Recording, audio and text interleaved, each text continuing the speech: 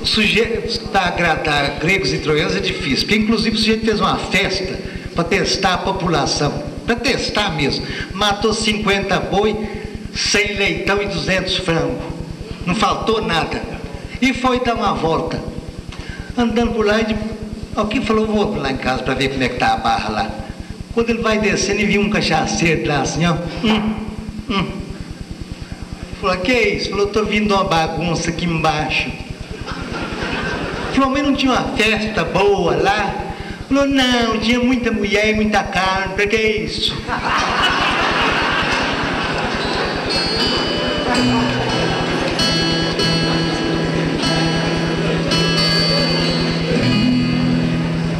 Então a senhora do, do Gilberto gosta muito de música italiana, vamos fazer aqui para todo mundo.